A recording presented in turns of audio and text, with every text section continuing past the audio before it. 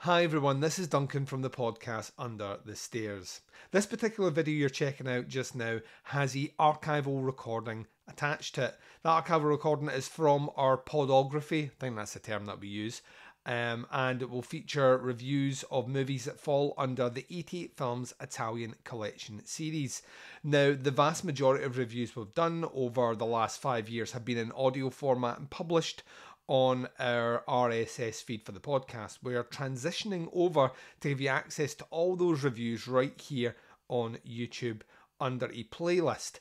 Now, we're doing that because we're about to do our first video recording of E88 Films Italian collection release, that being Tentacles. So, there's plenty of opportunity to delve into the back catalogue of the reviews here. And if you like, what you hear, then please hit subscribe on the channel, leave your comments below, and uh, check out the rich catalogue of over 1200 episodes we have on podcasts under the stairs on any podcatching device or Spotify that you use. So stick around, enjoy the episode, and I'll speak to you very soon.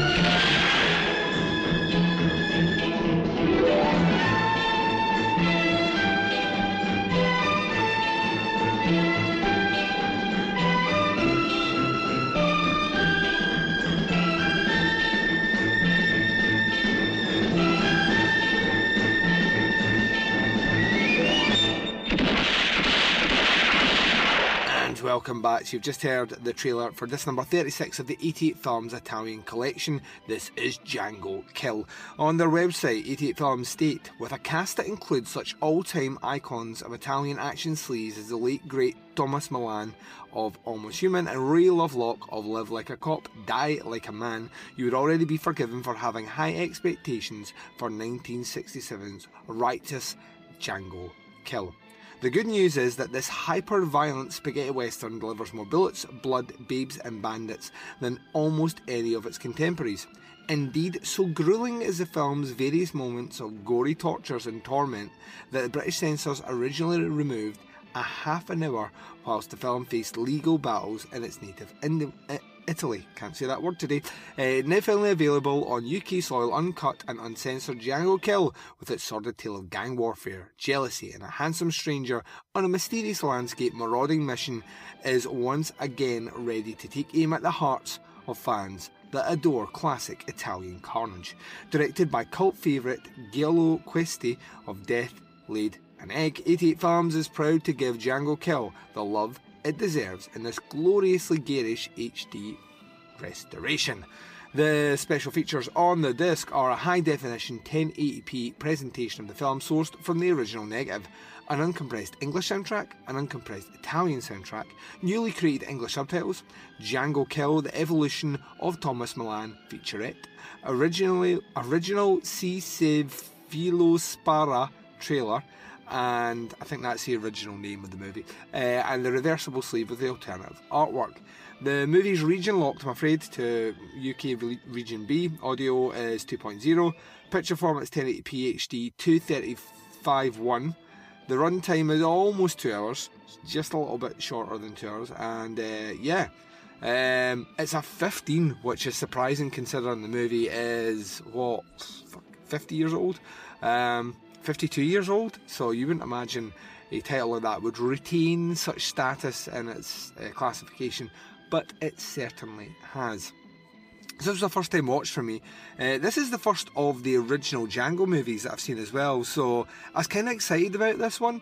To be honest, I have heard rumours about this movie, most notably when I was doing the Doing the Nasty podcast and checking into movies that had been heavily censored and you know, not only just censored but by all means removed from consumption by the British population. Django Kill was one of these titles that kept coming up again and again as examples of egregious actions by the BBFC and their censorship.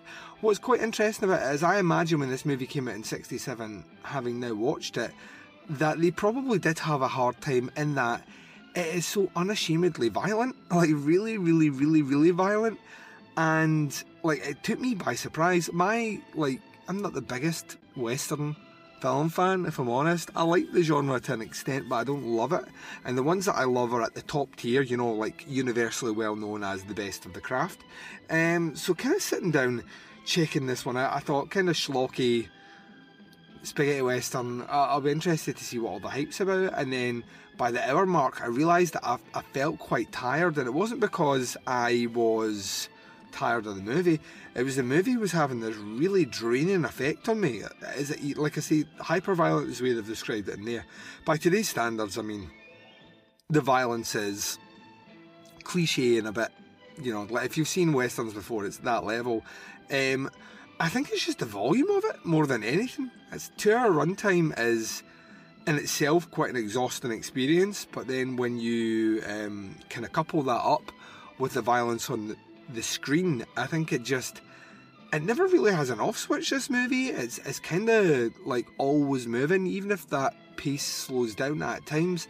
It has one direction right through at the end, which the best westerns do. If I if I'm honest, um, the cast is great in this movie. I love Thomas Milian. I love Ray Lovelock. Um, there are some additions of some kind of background characters that I've seen in other spaghetti westerns before. It was great to see them. Um, but I think what kind of really shocked me more than anything is the command of the camera um, and direction by uh, Giulio Questi. Now, I have, surprise, surprise, a copy of Death Laid an Egg. Um, one of the, I think it's a European collection for one of the other labels in the UK put a Kickstarter up for it and I funded its restoration and it's lay there and it's shrink wrapped since it came in. It is my intention to originally get around to watch it, um, but you know that time has moved on. It will be instead of an originally getting around to watch it, it will be an eventually he will get around to watch it. But if this is any indication of how good this guy's direction is, I can't fucking wait to watch this movie. Um, the direction is is tempered, it's measured, it's slow, it's deliberate. It knows exactly when to get up close and personal with the violence. It knows when to retract and let you soak in some of the, the scenery. The scenery and some of the long shots in this movie are fucking incredible. Um, when you couple that up with the score, you know, it's just a, it's a re- I, had you told me right back at the start where I would be lavishing praise on certain movies, would Django Kill be one of them? I would have told you no, because generally it's not a genre of cinema that I'm overly invested in. I was really looking forward to the horrors and the gialli. That was what I was looking forward to. But now having seen this movie, I'm really excited for more Django titles. But on top of that, I'm really excited for the actual experience of sitting down and watching some more spaghetti westerns that I'm not familiar with. It was a thriving industry in Italy for a long time. Uh, and gave us some of the best, some of the ones that are still talked about today, some of the best with um, Clint Eastwood, just some of the best scores, uh, action across the board, just phenomenal shit. And this one, which I thought would genuinely be schlocky, come in and has really won me over. In fact, I might go as far as to say of the recent run of movies that we've covered on here, this is like a high watermark for me on the 88 Films Italian collection. Just really wasn't expecting to be bowled over by it. I mean, the story is not too dissimilar from pretty much every other spaghetti western, and it understands that. So what it does is it kind of ups the scale of things by it says delivers more bullets in the description. There's a lot of gunfights in this. I don't know if it's the most bullets in none, but there's plenty of blood and like babes as they've called it. But the the women are incredible in this movie. And yeah, it just seems like the West is a dangerous place to be with the amount of bandits that were going around. I can't, for the life of me though, understand how you would want to cut it half an hour of this movie. I think you can make trims to, to maybe, maybe at the most, maybe 15 minutes. So the fact that the BBFC went so hammer and tongs at like removing half an hour kind of baffles me. Um, I would be interested to check that half an hour cut out to see how neutered the film actually is on the back end of it. But in this form, that is, I would imagine, probably the best that you're going to get in terms of length. You got to own it, and on top of that, the restoration work. I sometimes am a bit critical of 88 Films' work on this, um, but they really brought in this one. This is one of the older ones that we've covered as part of the collection, if not the oldest, and it looked vibrant. It looked still like an old movie, but they cleaned it up they cleaned it up enough that I, I genuinely was surprised at how old the movie is. Kept having to read the back going, 67, really? You know, we at the, like I said before, 52 year mark of age for this movie just seems wholly weird and, and mind melting, but it is. And this movie holds up and it's cool. And I, I mean, just everything, the choreography. I imagine probably quite a lot of animals died in this one because I know what Italy was like in the 60s.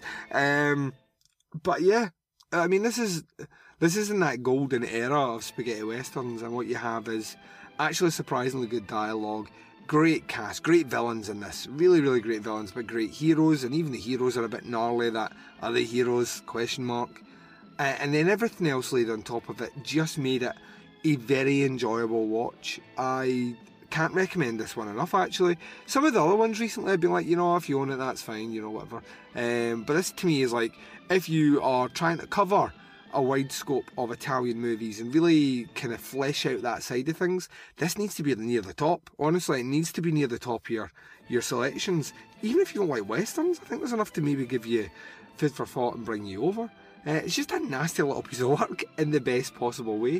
Uh, if you live, shoot is the subheading for this movie, and I don't think I've, I don't think I've heard of a better kind of tagline for a movie that we've covered recently. Just really, really enjoyed this one. Can't recommend it enough. Um, in terms of score, there is no way I can comfortably swing into this one without giving it a minimum of a 4.5. I imagine when I watch it again somewhere down the road it'll get 5, but it's a 4.5 for this one. Can't recommend it enough. Well done 88 Films for not only putting it out but bringing it back to my attention. Um, and yeah, I'm glad I'm finally ticking this one off the list. Uh, Django Kill, the real fucking deal, disc number 36.